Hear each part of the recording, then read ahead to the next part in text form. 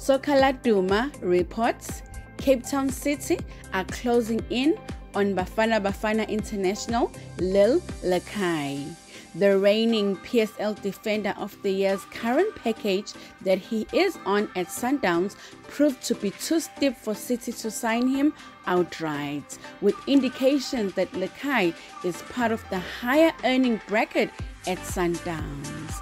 As a result, City has armed to take Lakay on a loan for 2022-2023 season and are set to get the deal done before the transfer window draws to a close on Thursday, 22 September.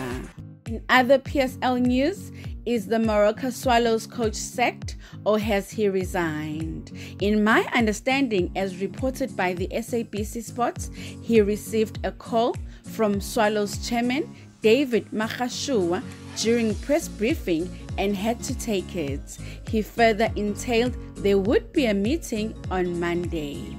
SABC Sport further reported that former Marumo Gallants coach Roman Folz has submitted his CV at Moroka Swallows and other coaches have submitted their CVs.